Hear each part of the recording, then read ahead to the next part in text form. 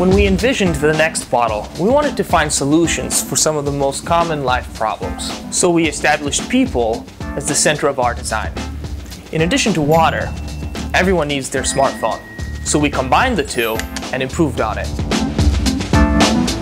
Why not integrate a power bank to end dead batteries once and for all?